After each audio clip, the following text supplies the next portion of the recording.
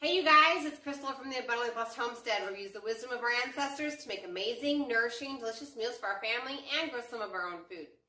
Today I'm going to be making my um, canned pineapple zucchini. This is basically a recipe to use up extra zucchini um, and you can it in pineapple juice.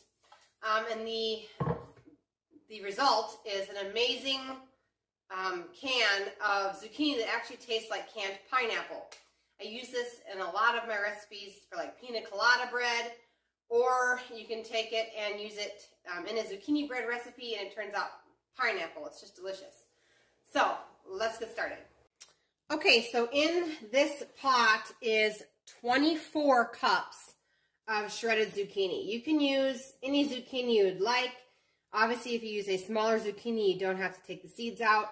Um, but this is a great recipe for those large zucchinis that you don't know what to do with. Um, go ahead and take the seeds all out and then shred it on up. And it's ready to use in this recipe. Okay, the next ingredient you're going to need is canned pineapple juice. This, um, just make sure you're reading your label. Um, it is 100% juice, no sugar added. Um, and you're going to need a 48 fluid ounce container. Next ingredient is one and a half cups of lemon juice. You want to make sure you're getting quality lemon juice, you guys. You don't want to be buying the stuff in that green plastic container. Um, that is not real lemon juice. If you read the ingredients, it's got some not so nice preservatives in there. So we need one and a half cups of lemon juice.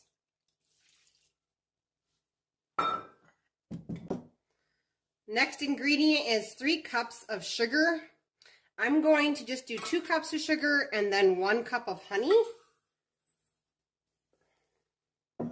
Actually, it's looking like that's the bottom of the sugar container. So I'm going to go ahead and do a cup and a half of sugar and a cup and a half of honey.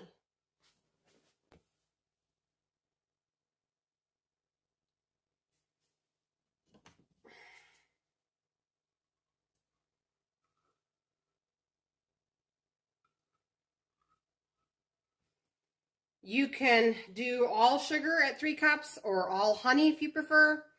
Um, the zucchini really does need sugar to really taste like the pineapple. Um, I've tried all honey before and it just isn't quite there. Um, so you can just get away with about having half of it being honey and half of it being sugar. Um, but anything more than half honey um, of the three cups and you don't quite get the same result that you would if you would have used sugar.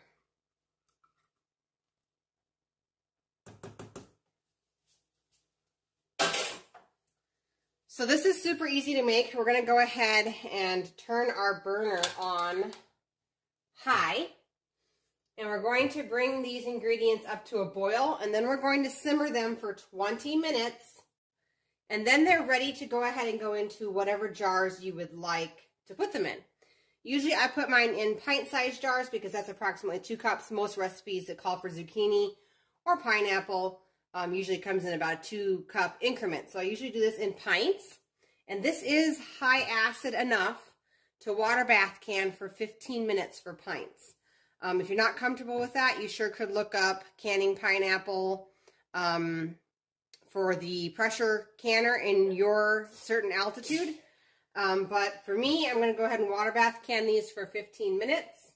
Um, so this just comes up to a boil, and then we're going to simmer it for 20 minutes, load the jars, and we're off. Okay, so this has come to a boil. We're going to go ahead and reduce the heat down to a medium-high heat and let this simmer for 20 minutes. And then we'll be ready to load our jars. Okay, so this has been simmering for 20 minutes. I did end up reducing the heat to medium-low heat. Um, I'm going to go ahead and turn off the heat now, and I'm going to load my jars. And like I said, I will process these um, pints of the pineapple zucchini for 15 minutes in a water bath canner. And that's all there is to it. If you guys like canning videos, you guys enjoy watching my content, give my video a thumbs up, and I will catch you guys in the next video. Thanks so much for watching.